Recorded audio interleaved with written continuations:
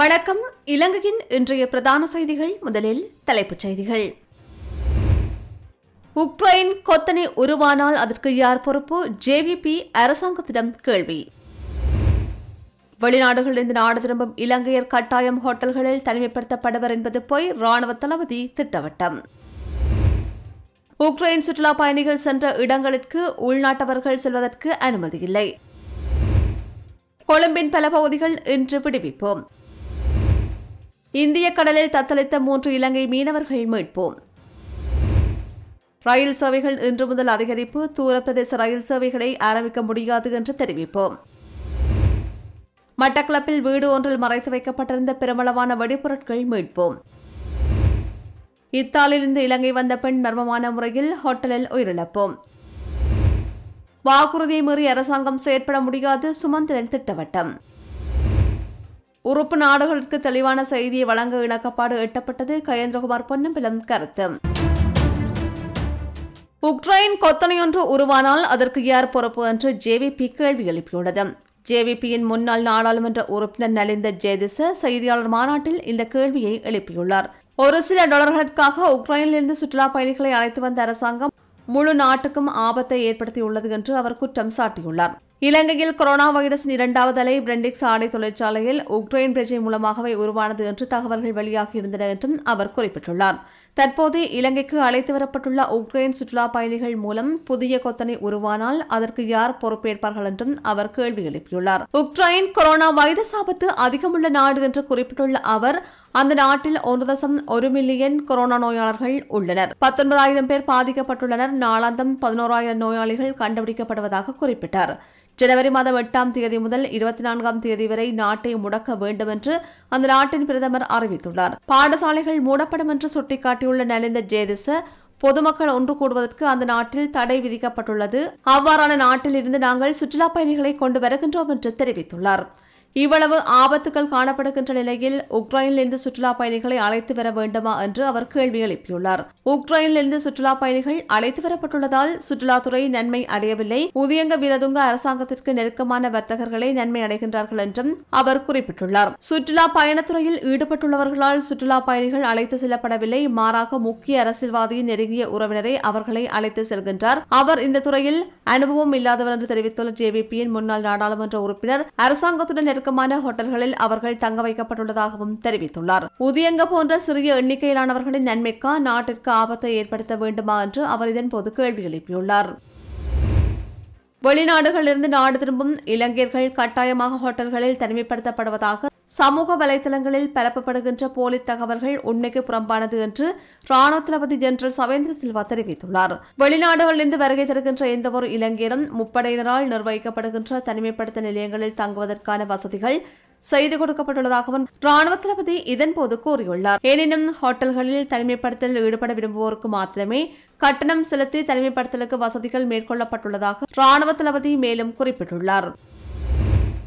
உக்ரைனிலிருந்து இலங்கை வந்துள்ள சுற்றுலா பயணிகள் விஜயம் மேற்கொண்டுள்ள பகுதிகளுக்கு உள்ளூர் சுற்றுலா பயணிகள் செல்வதற்கு அனுமதி வழங்கப்படாது என்று மத்திய கலாச்சார நிதியம் அறிவித்துள்ளது. இன்று மதியம் ஒரு மணிக்கு பின்னர் உக்ரைன் சுற்றுலா பயணிகள் சென்ற பகுதிகளுக்கு உள்நாட்டவர்கள் எவரும் செல்ல முடியாது என்று மத்திய கலாச்சார நிதியம் தெரிவித்துள்ளது. சிகிரியாவிற்கு உள்நாட்டிலிருந்து செல்வதற்கு தடை விதிக்கப்பட்டுள்ளமை குறிப்பிடத்தக்கது. தனிமைப்படுத்தல் ஊரடங்கு சட்டம் அமுல்படுத்தப்பட்ட சில பகுதிகள் இன்றைய தினம் அதிகாலை ஐந்து மணி முதல் விடுவிக்கப்பட உள்ளன. ராணுவ தளபதி ஜெனரல் சவேந்திர சில்வா இதனை கூறியுள்ளார் அதன்படி கொழும்பு ஹெசல்வத்தை புதுக்கடை மேற்கு மற்றும் கிழக்கு பொரளை வராத்தமுல்ல மிரிகானா தெமலவத்த முகத்துவரம் போலீஸ் பிரிவு பேலியகுடை மீகாவத்தை உள்ளிட்ட பகுதிகளை இவ்வாறு விடுவிக்கப்பட உள்ளன. மேலும் கிரிவத்கொட விலேகொட வடக்கு ஆகிய பகுதிகளும் விடுவிக்கப்பட உள்ளது. இதேவேளை இலங்கையில் ஏழு மாவட்டங்களில் கடந்த மூன்று தினங்களில் எந்தவொரு கொரோனா தொற்றாளர்களும் பதிவாகவில்லை என்று கோவிட் நைன்டீன் பரவலை தடுக்கும் தேசிய செயற்பாட்டு மத்திய நிலையம் அறிவித்துள்ளது. கிளிநொச்சி வவுனியா முல்லைத்தீவு பதுளை யாழ்ப்பாணம் கேகாலை மற்றும் அனுராதபுரம் ஆகிய மாவட்டங்களே இவை என்று தெரிவிக்கப்பட்டுள்ளது.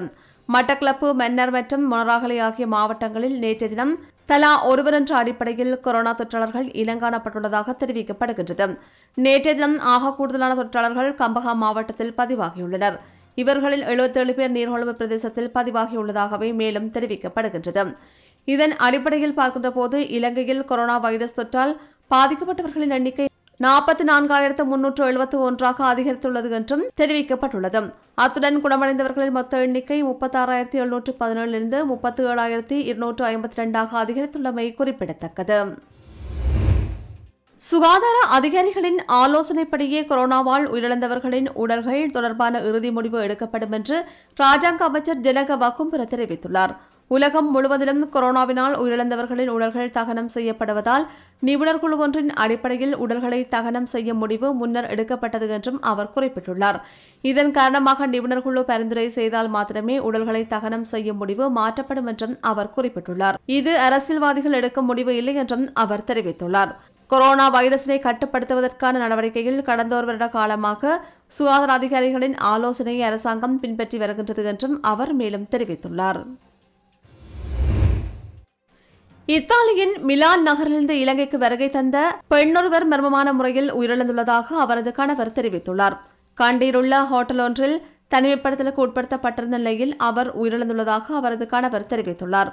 குறித்த ஹோட்டல் அறைக்குள் பெண் உயிரிழந்துள்ள நிலையில் நேற்று முன்தினம் அவரது சடலம் கண்டெடுக்கப்பட்டதாக சிங்கள பத்திரிகை ஒன்று செய்தி வெளியிட்டுள்ளது. இத்தாலியின் மிலான் நகரில் உள்ள அவரது கணவரை மேற்கோள் காட்டி இந்த செய்தி வெளியிடப்பட்டுள்ளது.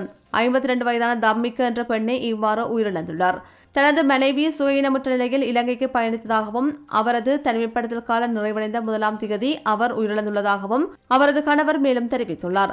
வெளிநாடுகளிலிருந்து இலங்கைக்கு செல்வதற்கு லட்சக்கணக்கான பணம் அறவிடப்படுவதாகவும் தனிமைப்படுத்தல் காலத்தில் வெளியில் செல்ல அனுமதிக்கவில்லை என்றால் அதற்கான பொறுப்பை அரசாங்கம் ஏற்க வேண்டும் என்றும் அவரது கணவர் குறிப்பிட்டுள்ளார்.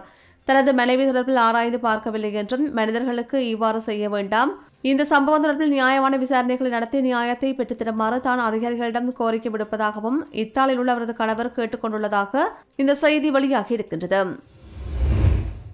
இலங்கையில் கோவிட் நைன்டீன் தொற்றினால் உயிரிழந்தவர்களின் எண்ணிக்கை இருநூற்று பதிமூன்றாக அதிகரித்துள்ளது.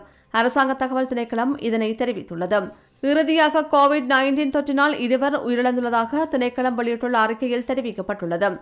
வெளிப்பெண்ண பகுதியைச் சேர்ந்த ஐம்பத்தேழு வயதான பெண் ஒருவரும் கொழும்பு பதினைந்து பகுதியைச் சேர்ந்த எழுபத்தாறு வயதான பெண் ஒருவருமே இவ்வாறு உயிரிழந்திருக்கின்றமை குறிப்பிடத்தக்கது. அனைத்து ரயில் பாதைகளிலும் ஈடுபடுகின்ற ரயில் சேவைகள் இன்று முதல் அதிகரிக்கப்படும் என்றும் தூரப்பிரதேச ரயில் சேவைகள் ஆரம்பிக்கப்படாது. இருப்பினும் இரவு தபால் ரயில் சேவை மீள ஆரம்பிக்கப்படும் என்று எதிர்பார்க்கப்பட்டுள்ளதாக ரயில் நிலைய பொறுப்பதிகாரிகள் சங்க பிரதான செயலாளர் ஹசன் சாமர தெரிவித்துள்ளார்.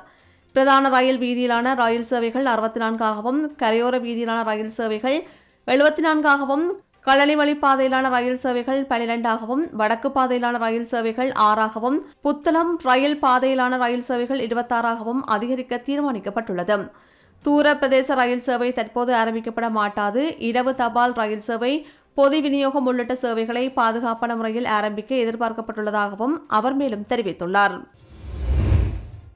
இந்திய கடற்பரப்பில் வைத்து மூன்று இலங்கை மீனவர்கள் மீட்கப்பட்டுள்ளனர். இந்தியாவின் நாகை மாவட்டம் வேதாரண்யத்தை அடுத்த புஷ்பவனம் கடல் பகுதியில் வைத்தே குறித்த மூன்று இலங்கை மீனவர்களும் மீட்கப்பட்டுள்ளனர். குறித்த மீனவர்கள் பயணித்த படகு பழுதாகி கடலில் தத்தளித்துக் கொண்டிருந்த நிலையில் அவர்களை புஷ்பவனம் மீனவர்கள் படகுடன் மீட்டு கரைக்கு கொண்டு வந்து சேர்த்தனர். கரை சேர்ந்த மூன்று மீனவர்களிடம் பேதரண்யம் கடலோர காவல் குழும போலீசார் விசாரணைகளை மேற்கொண்டு வருகின்றனர். இவ்வாறு மீட்கப்பட்ட ஜான்சன் ட்ரீகன் குருபரன் என்ற பெயருடைய மூன்று மீனவர்களும் ஊர்காவல்துறை குருநகர் மற்றும் பூநகரி பகுதியைச் சேர்ந்தவர்கள் என்பது குறிப்பிடத்தக்கது. மட்டக்களப்பு மாவட்டத்தின் கரடியனாறு போலீஸ் பிரிவுக்குட்பட்ட சின்ன புல்லுமலை பகுதியில் வீடு ஒன்றில் மறைத்து வைக்கப்பட்டிருந்த பெருமளவான வெடிபொருட்கள் நேற்றைய தினம் மீட்கப்பட்டுள்ளன. போலீஸ் புலனாய்வு பிரிவுக்கு கிடைக்கப்பெற்ற தகவலின் அடிப்படையில் மட்டக்களப்பு மாவட்ட விசேட குற்றத்தடுப்பு விசாரணை பிரிவினரால் இந்த வெடிபொருட்கள் மீட்கப்பட்டுள்ளன. குறித்த வீட்டில் இருந்து ஜெலட்டின் குச்சி எழுநூற்றி இருபத்தி ஒன்பதும் அமோனியம் நைட்ரேட் இருபத்தைந்து கிலோ நிறையுடைய இருபத்தி நான்கு பைகள் வெடிபொருட்களுடான நூற்று எழுபத்தெட்டு வயர் ரோல்கள் நூற்று ஐந்து அலுமினியம் குச்சுகள் முப்பத்தொரு வெடி என்பன இதன்போது மீட்கப்பட்டுள்ளன. இந்த விடயம் தொடர்பில் ஒருவர் கைது செய்யப்பட்டுள்ளதுடன் இதனுடன் தொடர்பட்ட ஏனையவர்களை கைது செய்வதற்கான நடவடிக்கைகள் முன்னெடுக்கப்பட்டுள்ளதாகவும் போலீசார் மேலும் தெரிவித்துள்ளனர். இதேவேளை இவ்வாறு கைது செய்யப்பட்ட ஏறாவூர் லக்கி வீதியைச் சேர்ந்த ஐம்பத்தி மூன்று வயதுடைய குறித்த நபர் கல்குவாரி தொழிலில் ஈடுபட்டு வருவதுடன் அதற்கான அனுமதி பத்திரத்துடன் கல் உடைப்பதற்கு வெடிபொருட்களை பயன்படுத்தி உடைத்து வந்துள்ளதாகவும் கடந்த மாதம் கல்லுடைக்கும் அனுமதி பத்திரம் முடிவடைந்துள்ளதாகவும் அதன் பின்னர் வெடிபொருட்களை கொள்வனவு செய்து வெடிபொருட்களை மறைத்து வைத்திருந்ததாகவும் கூறப்படுகின்றமை குறிப்பிடத்தக்கது. உறுப்பு நாடுகள் மற்றும் மனித உரிமை பேரவை அதன் ஆணையாளர் ஆகியோருக்கு தெளிவான ஒரு செய்தியை வழங்க வேண்டியமை தொடர்பாக ஒரு இணக்கப்பாடு வந்துள்ளதாக நாடாளுமன்ற உறுப்பினர் கயேந்திரகுமார் பொன்னம்பலம் தெரிவித்துள்ளார். ஜெனிவா விடயங்கள் எவ்வாறு கையாள்வது என்பது தொடர்பான ஆலோசனைக் கூட்டம் வவுனியா குருமன்காட்டில் அமைந்துள்ள தனியார் விருந்தினர் விடுதியில் நேற்று இடம்பெற்றது. இதன் பின்னர் ஊடகங்களுக்கு கருத்து தெரிவிக்கையில் அவர் இவ்வாறு தெரிவித்துள்ளார். ஒரு இணக்கப்பாட்டு இருந்தது. அந்த வகையில் மேலதிகமான நடவடிக்கைகள் எடுப்பதற்கு திரு சுமந்திரன் அவர்களும் நானும் உட்பட ஒரு குழு ஒன்று நியமிக்கப்பட்டு ஒரு சின்ன குழு ஆஹ், சிவில் சமூக தலைவர்களும் இணைந்து திரு விக்னேஸ்வரன் அவர்களுடைய அமைப்பும் உடைய ஒரு பிரதிநிதியம் செய்து நாங்கள் அந்த உருப்புள்ளி என்ற விடயத்தை எழுத்து எழுத்தில் ஆவணப்படுத்துறதுக்குரிய ஒரு முயற்சி ஒன்று எடுக்கிறதுக்கும் நாங்கள் இறங்கியிருக்கிறோம். அது மிக விரைவில் முன்னெடுக்கப்படும் என்று நாங்கள் எதிர்பார்க்குறோம். வரக்கூடிய இந்த ஒரு கிழமைக்குள்ளே அது ஒரு ஆரம்ப ஆவணமாக வைத்துக்கொண்டு அடுத்த கட்ட சந்திப்புகளை மேற்கொள்றதுக்கு நாங்கள் இறங்கியிருக்கிறோம். சர்வதேசத்திற்கும் இந்தியாவிற்கும் வழங்கிய வாக்குறுதிகளை மீறி செயல்பட முடியாது என்ற உண்மையை இலங்கை அரசாங்கத்திற்கு சொல்லியிருப்பதாக நாடாளுமன்ற உறுப்பினர் எம் ஏ சுமந்திரன் தெரிவித்துள்ளார். ஜெனிவா படியங்கள் எவ்வாறு கையாள்வது தொடர்பான தமிழ் தேசிய கட்சிகளுக்கு இடையிலான ஆலோசனைக் கூட்டம் வவுனியாவில் நேற்று இடம்பெற்றது. இந்த கூட்டத்தில் கருத்து தெரிவிக்கும் போது அவர் இவ்வாறு குறிப்பிட்டுள்ளார். சென்ற சென்ற இருபத்தொன்பதாம் தேதி கிளிநொச்சியில் நாங்கள் சந்தித்த அடித்து இன்றைக்கு த- த- தமிழ் அஹ், தேசிய மக்கள் முன்னணியினரோடு சேர்ந்து கொண்- விரிவான இன்னொரு கலந்துரையாடல் இடம்பெற்றிருக்கிறது. இன்றைய கலந்துரையாடலுக்கும் பிறகு இங்கே இருக்கிற அரசியல் கட்சிகள் மற்றும் சிவில் சமூக அமைப்புகள் பாதிக்கப்பட்டவர்களுடைய தரப்புகள் அனைவரும் சேர்ந்து மார்ச்சிலே ஜெனிவா அமர்வு நடைபெறுகிற போது ஒரு பொதுவான நிலைப்பாட்டை எடுப்பதற்கான சாத்திய கூறுகள் அதிகரித்திருக்கிறது. அதை வருகிற சில நாட்களிலே நாங்கள் அமர்ந்திருந்து ஒரு வரைவை தயாரித்து அதுக்கு பிறகு அனைத்து தரப்புகளிடத்திலேயும் பேசி அந்த நிலைப்பாட்டை எடுக்கலாம் என்று தீர்மானித்திருக்கிறோம்.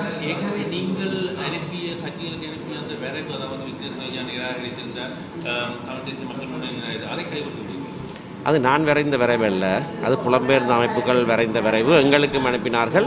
என்னிடத்திலே கேட்டார்கள். மற்ற ரெண்டு கட்சிகிட்டையும் கொடுக்க சொல்லி. அவர்கள் ஏதோ நான் வரைந்ததாக நினைச்சு நிராகரிச்சிட்டாங்க. ஆனால் பிறகு விக்னேஸ்வரன் ஐயா அதுக்கு தன்னுடைய அனுமதியை கொடுத்துருக்கிறார் என்று ஒரு மின்னஞ்சலை நான் இப்போ பார்த்துறேன். அது நான் வரைந்தபடியாக நிராகரித்தது அது நான் வரையாதது என்று தெரிஞ்சோடனே அதை ஏற்றுக்கொண்டது போல தெரியுது. அதெல்லாம் ஒரு பக்கத்தில் இருக்கட்டும். நாங்கள் அடுத்த ரெண்டு மூணு நாட்களில் நானும் திரு கதிரவான் பொன்னம்பலமும் விக்னேஸ்வரன் ஐயாவும் சந்தித்து இந்த இன்றைக்கு இன்றைக்கும் இதற்கு முதல் இருபத்தொம்போதாம் தேதியும் நாங்கள் இங்கே பேசி இணக்கப்பாடு எழுதிய விடயங்களை அடிப்படையாக வைத்து ஒரு நிலைப்பாட்டுக்கு வரலாமா என்பதை குறித்து ஆராய்வோம்.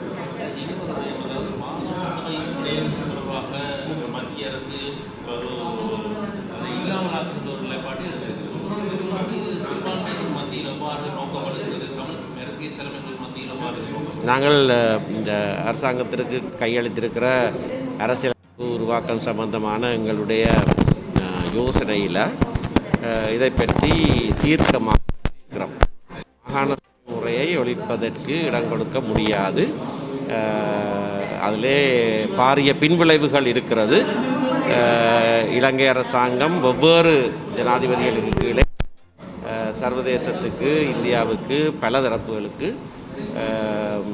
தங்களுடைய வாக்குறுதிகளை கொடுத்திருக்கிறார்கள். அதையெல்லாம் மீறி இலங்கை அரசாங்கம் செயற்பட முடியாது என்ற உண்மையை அவர்களுக்கு சொல்லியிருக்கிறோம். அதையும் மீறி இலங்கை அரசாங்கம் செயற்படுமாக இருந்தால் நாங்கள் எங்களுடைய அடுத்தடுத்த நடவடிக்கைகள் என்ன என்பதை குறித்து முடிவுகள் எடுப்போம். இத்துடன் இலங்கையின் இன்றைய பிரதான செய்திகள் நிறைவு பெறுகின்றன. தொடர்ந்தும் இலங்கை செய்திகளை உடனுக்குடன் அறிந்து கொள்ள சமூக மீடியா டாட் காம் எனும் எமது இணையதளத்துடன் இணைந்திருங்கள். இது போன்ற பல செய்திகளை தெரிந்து கொள்ள நம்முடைய சமூக மீடியா யூடியூப் சேனலை சப்ஸ்கிரைப் செய்து அருகில் உள்ள பெல் பட்டனை கிளிக் செய்யுங்கள். மேலும் செய்திகளை உடனுக்குடன் தெரிந்து கொள்ள சமூக மீடியா டாட் காம் என்ற இணையதளத்தின் வாயிலாக எங்களுடன் இணைந்திருங்கள்.